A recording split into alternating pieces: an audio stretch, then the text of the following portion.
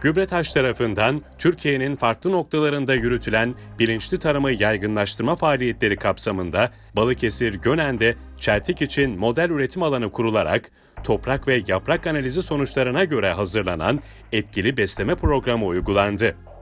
Tarlamız 13 dönüm. Burada e, Edirne Baldo çeşidimiz. Bu yıl burada e, firmamızın çeltiğe özel olarak ürettiği süper çeltik gübresini kullandık. Gerek çimlenme gerek çıkışlarda farkını bariz gördük. Bu yıl özellikle e, hava şartları çok kötü gitti.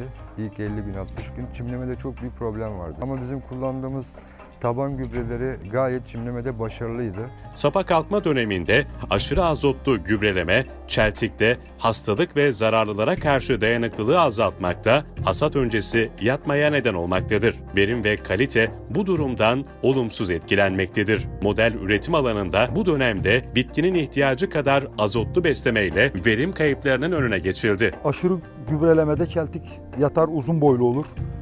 Bunu da e, gübreyi kontrollü kullanarak kaliteli gübre kullanarak engellemeye uğraşıyoruz. Genelde çeltik üreticilerimiz e, çeltik bitkisinin ihtiyaç duyduğu azotlu gübreyi Ekim'den sonraki 35-40. güne kadar olan kısımda hepsini birlikte kullanmaktadır. Yaprak analizi sonuçlarına göre yapılan beslemeyle azotlu gübre tüketimi bölge üreticisi alışkanlıklarının dörtte biri oranında azaltıldı. Çeltik'te sap gelişiminin istenilen kriterlerde olması sağlandı. Normalde ikinci seferde e, uygulanan miktar 20-25 kiloyken biz burada 5 kilogram kadar bir azotlu gübre uygulaması yaptık. Çelti yaprağını yeşil tuttu, sapı kalın, dirençli tuttu ve malımız komple ayakta. Zaten bizim çiftçi olarak özellikle Baldo'da istediğimiz bu. Şu andaki uygulama süper görünüyor. Ben bir çiftçi olarak bakıyorum ki son artık bunun daha üstü olmaz. Bugün hasat günümüz, hasatımız başladı. Geçen seneye göre %15 bir e, artış bekliyoruz. Bu arazi son e, 10 yıldır zaten 700 kilo civarında verim veriyor. Aşağısı da olmuyordu, üstünü de alamıyorduk. Gayet güzel, özenle, itinayla bakılmış bir ürün.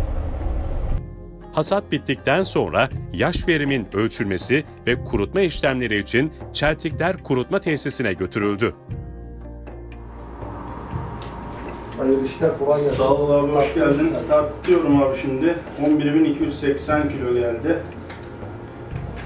Buyur abi fişim. Hayırlı olsun. kolay gelsin. Rica ederim. Sağ ol. Edirne Baldo çeşidinde 2020 yılında bölgedeki üretici verim ortalamaları dekar başına 600-650 kilogram arasında gerçekleşti. Model üretim alanında bitkinin gelişim döneminde yaşanan düşük sıcaklıklar ve aşırı yağış gibi olumsuz iklim koşullarından dolayı kardeşlenmede gecikme yaşanmasına rağmen Gübretaş'ın bilinçli bitki besleme programıyla aynı çeşitte dekardan 746 kilogram çeltik hasat edilerek bölgedeki önder üretici uygulamalarına göre %15 verim artışı sağlanmıştır.